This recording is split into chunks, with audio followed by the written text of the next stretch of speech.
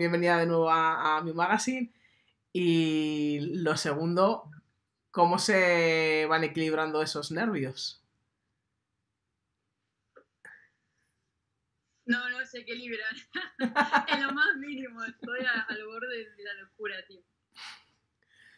¿Qué has encontrado? Me gustaría saber si tú te has cogido tu tiempo para poder escuchar todos los temas de este, de este álbum, escuchándolos uno detrás de otro, y si cuando has hecho ese, ese ejercicio, ¿qué es lo que ha provocado en ti este trabajo?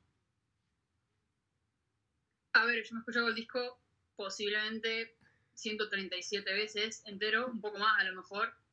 No, no digo, o me gustaría decirte que es de coña por hacer la gracia, pero de verdad eh, me lo voy a escuchar.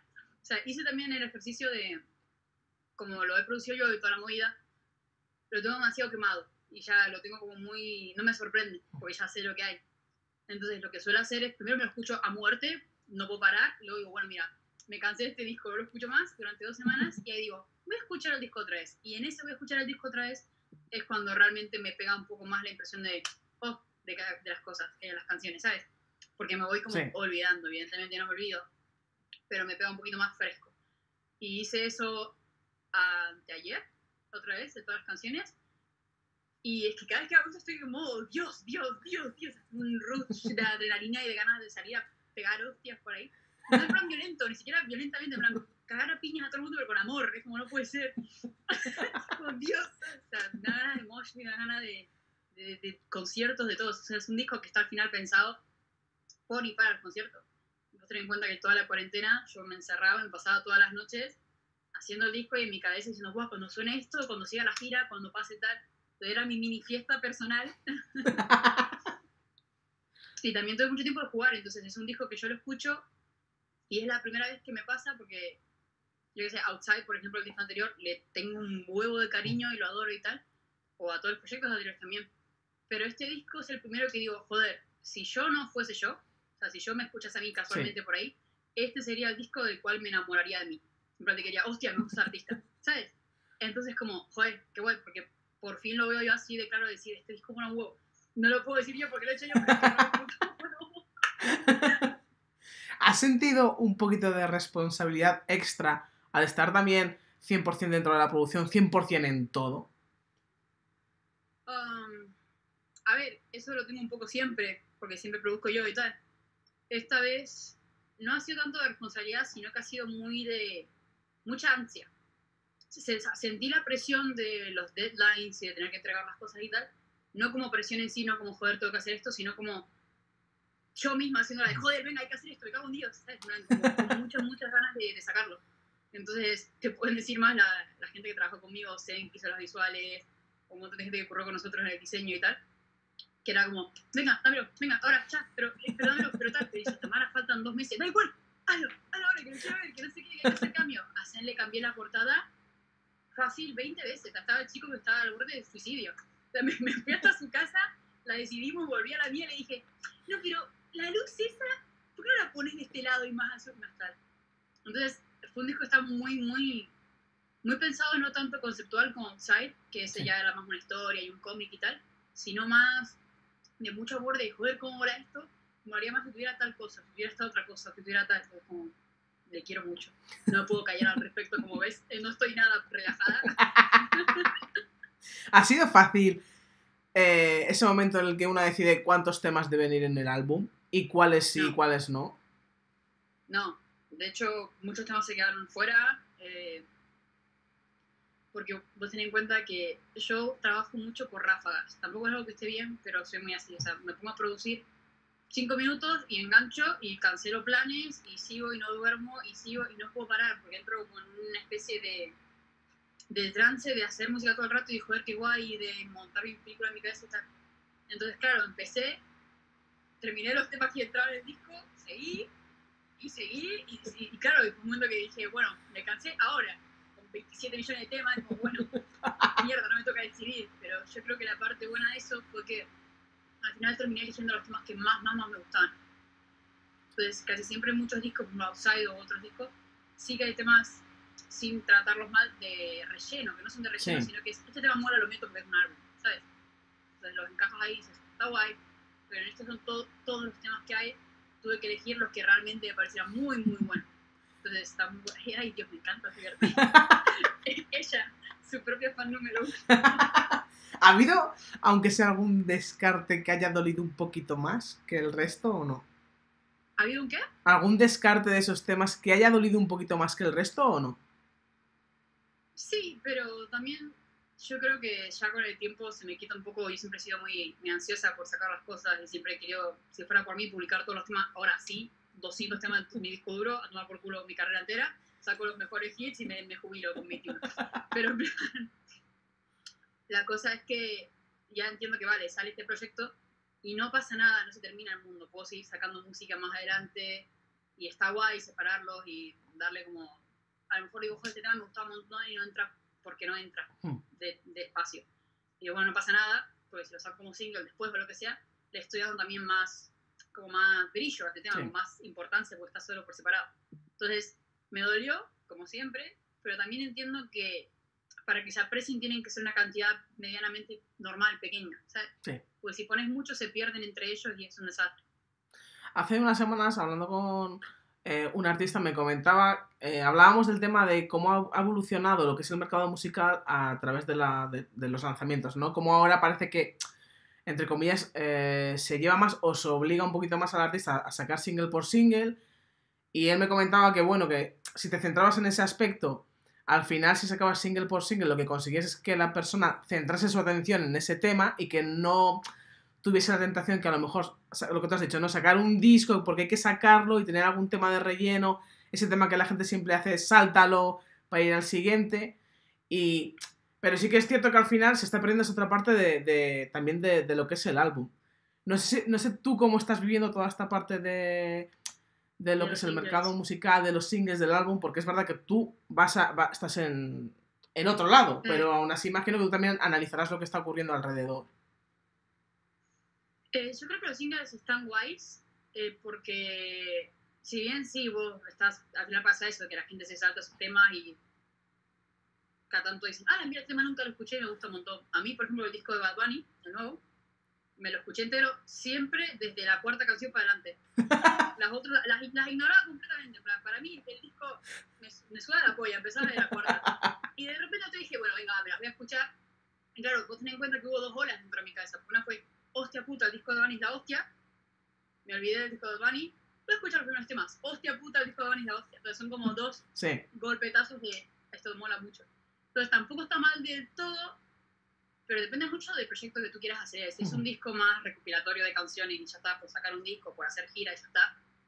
Y bueno, si es un disco conceptual, por ejemplo, Outside, sacamos singles y tal, pero Outside estaba tan entrelazado a los temas entre todos y tal, que era imposible no escucharlo entero, Sí. ¿sabes? Entonces molaba mucho. Y este, por ejemplo, si te soy totalmente sincera, los singles que hemos elegido ha sido un poco más al azar, porque todos molaban tanto como single, que era como, bueno, y de hecho los singles que salieron son, no lo voy a decir de los peores, pero son de los temas más pop del disco. o sea, para mí, literalmente, o sea, porque dije, por lo mismo que dices tú, saco estos singles sí. y me guardo estas balas más potentes para cuando salga el disco, es como que salen otros singles del tirón, o sea, todos los temas del disco ese son tan singleables por separado, que está, está buenísimo. Entonces, ¿Qué? sí. ¿Qué te gustaría provocar a ti de- de- hacia el público cuando escuchen el álbum? Buah, yo creo que hay, hay movimientos que estoy ahora mismo flipando en colores porque ha sido como, sí, sí, ha- han entendido la música completamente, que es todo el tema de, he hablado mucho de esto también, del hyperpop y de todo lo que es la mezcla del pop, pop con industrial, también hay guitarra siempre meto porque me gusta y eso, entonces es como una mezcla muy loca, que está muy buena, y no soy la única que lo está haciendo para nada, y creo que es un estilo muy, muy guay y muy, muy libre y muy divertido, tío. Es como que casi no hay reglas, se puede hacer lo que sale de la punta del nabo y salen unas cosas tan guays que decís, joder, qué raro suena esto, pero cómo mola, ¿sabes? Entonces yo creo que para mucha gente que lo escuche, a pesar de que yo no soy ni mucho menos la bandera de este género ni nada, creo que va a ser como una entrada fácil. Yo creo que estoy siendo como una entrada bastante fácil a después terminar escuchando eso. Y me flipa, entonces está muy bueno. Va a ser una cosa de, de primero de confusión y después de, qué guay, después de, coño es esto. Va a ser como una confusión muy guay, muy buena, en buen sentido, ¿sabes? Y cuando dentro de poco ya salga, salga este álbum, ¿cuántas ganas se van a incrementar en ti para saltar a la carretera a esa música en directo, en vivo con el público? Yo acabo de ver un tweet de una chica en Filipinas que ya lo está escuchando y automáticamente ha sido, oye, ¿cuándo vamos de gira? Por el grupo de la discográfica, oye, perdonen, eh, ¿cuándo, ¿cuándo dicen que se va a ir el COVID? Por favor, necesito tocar esto. A ver, hay planes, ya no está la fecha de Italia y hay cosas a futuro, pero es que eso, como no depende ya de Sí. ninguno de los artistas, ya un punto que ya estamos todos como, ok, voy a preparar el terreno, voy a centrarme en que el show sea mejor, en hacer las visuales bien, en hacer todo guay para que cuando digan salimos, esté todo listo para salir. ¿Sabes? Es un poco eso, pero las ganas son extremas. Son muchísimas. Siempre se lo suelo preguntar, cuando uno está sobre el escenario, en, en- en vivo y en directo con el público, y llega ese momento de irse al otro lado, al silencio, cuando el concierto acaba, me gustaría saber cómo tú consigues equilibrar la energía sobre el escenario cuando todo acaba. Uf, eh, esto lo, lo hablé hace poco con amigos y tal, que cuando he invitado a colegas míos a shows o cosas así, claro, ellos tienen la idea de que, joder, acabas de tocar, full rockstar, después nos vamos de fiesta, igual, la rompemos y tal. Y lo que pasa es que cuando tú estás en un escenario es tan fuerte el intercambio de energía con la peña y das tanto, tanto, tanto, tanto.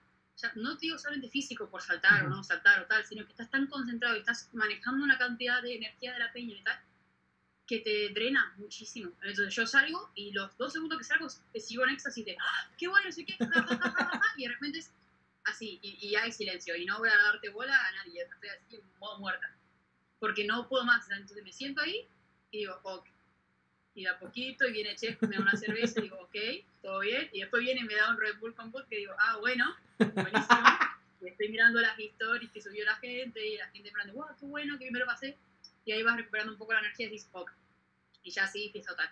Pero por lo general yo suelo morir bastante. Si tengo que estar de fiesta porque es algo especial, estoy de fiesta porque es algo especial. Pero no duro más que 3-4 horas. Allá ahí ya dije, mira, Anoní. ¿Cuánto de importante para ti es en esos momentos entregarse 100% al público y que no haya ningún tipo de muro en esa comunicación? Hombre, es lo principal.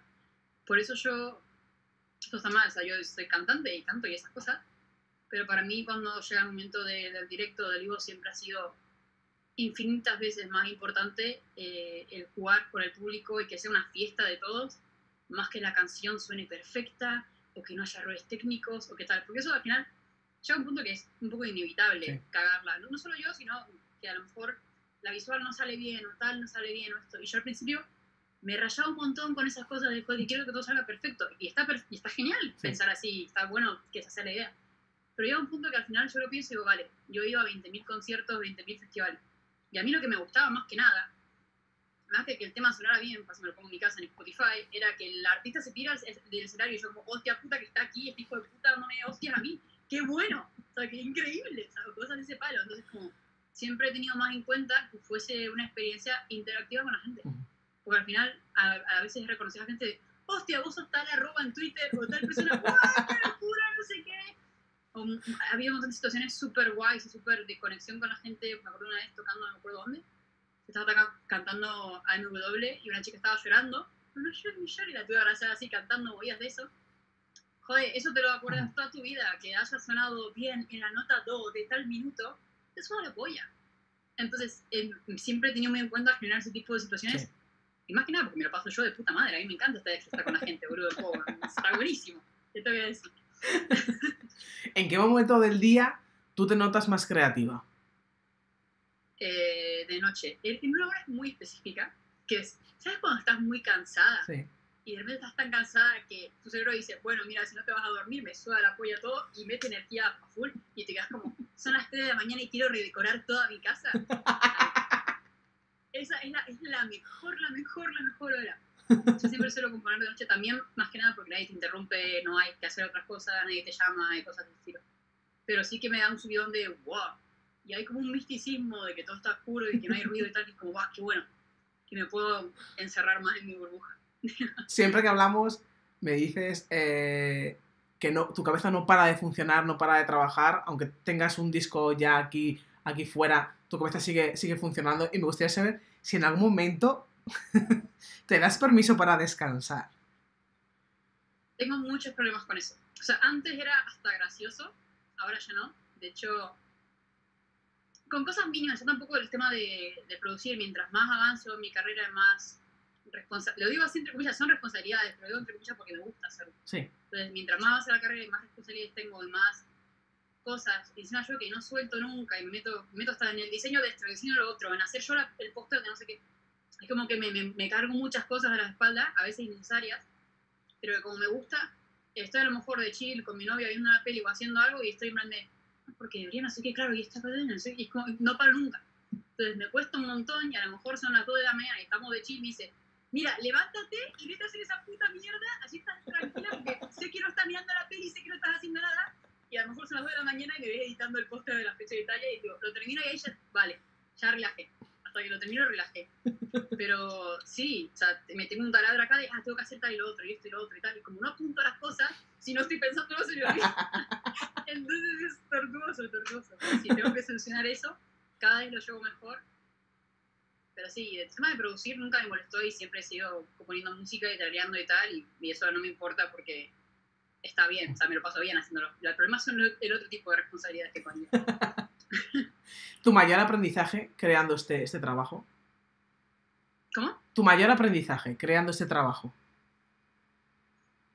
Fua, eh, yo creo que más allá de, de cosas de técnica, que evidentemente es inevitable, eh, ha sido mucho, mucho de, de, de la vida adulta, digamos, o sea, cosas que he aprendido por hacer música por dedicarme a esto, lo aplico diariamente a, vale, si, tengo- si sé organizar esto de esta manera, puedo organizar esto de otra manera. O sea, o aconsejar a amigos cosas que yo he aprendido de cosas de música. No te sé decir un ejemplo específico, pero sí que es, es muy útil, porque al final en todos los campos de la vida se van las mismas tres cosas de paciencia, de organizarse, de visión a futuro, de planificación, de tal, ¿entiendes? Sí. Entonces, he crecido, he madu- madurado mucho, esa es la palabra, he madurado mucho como persona dedicándome a esto. Y sí que es verdad que a veces digo, joder, he madurado demasiado, demasiado pronto. Pero bueno, está guay, yo qué sé, después yo a veces estoy en de, joder, me he perdido tal fiesta con mis amigos, me quiero morir, ¿no? Qué mal tal. Y mis amigos están, joder, hija de puta está haciendo de todo, vive sola, hace tal, no sé qué. Entiendo, entonces como- es como, siempre querés lo que no tenés. Entonces va a ser así infinitamente. Pero estoy muy, muy agradecida, evidentemente, de, de hacer lo que puedo hacer y de vivir de esto y está buenísimo. Y ya para terminar, me gustaría saber en quién crees tú que te has convertido gracias a la música. Ah, yo creo que, que hay una cosa que chequeo cada tanto, siempre, que es, porque yo, ya lo hemos hablado también antes, pero yo he querido dedicarme a esto desde que tengo uso de razón, o sea, siempre canturreaba por ahí y hacía cosas y tal. Y como que siempre envisionaba mi futuro de, "Buah, cuando viva sola y tenga 21 años o tenga tal, y haga esto y haga lo otro y tenga otro gato y qué cosas así. Entonces hay como siempre un chequeo mío de cuando estoy muy dudosa de si estoy haciendo las cosas bien o no. Si tengo, de verdad quiero ir por este camino, quiero este estilo de música, quiero vestirme así, quiero ser así, quiero no sé qué, ¿sabes? Es como, a ver, si yo ahora mismo fuese a mi casa de Argentina en el 2010 y le dijese, che, Tami, ¿qué tal? ¿Cómo andás? Soy yo, pero soy, soy vos del de, 2020. Hay una pandemia, pero no vamos a hablar de eso. ¿Qué te parece? ¿Qué te parece la existencia? Y que me pregunte ella y me autoentrevisto, es como, no, sí, está buenísimo. Me gusta un montón. Si yo me conociese a mí de pequeña, me, me fliparía. Fliparía con mi pelo, fliparía con mis tatuajes, fliparía con lo que hago. Estaría, me creía que estoy soñando y me estaría, no, no, no. ¿Qué carajo es esto? Entonces, siempre que hago ese recheck, siento que es una forma muy útil de, de reconectar con mis raíces, digamos. Eso me sirve un montón también cuando voy a Argentina y tal, como tal. Y yo creo que me he convertido en la versión mía que quiero ser. No del todo, pero estoy por ese bueno. camino. Y está muy bueno. bueno. o sea, más que. me- siempre me, me- le doy más importancia a eso, más que si otra gente me ve como referente. Está buenísimo y muchas gracias. Pero creo que es una cosa más de self-fulfillment, en plan de, de amor mío propio. ¿Sabes? De, "Joder, me Sí. gusta lo que estoy haciendo y me sube la polla todo. Pues toda la suerte del mundo con este nuevo trabajo. Ay, que sale nada, Dios mío, me estoy, me estoy muy nerviosa. Espérate, ¿qué hora es? Son las 18 y 38. En nada, en nada. Toda la suerte de- de- del mundo y muchísimas gracias, como siempre. Igualmente, cuando quieras, aquí estoy. Te mando un abrazo. Vale. Bye. Hasta luego.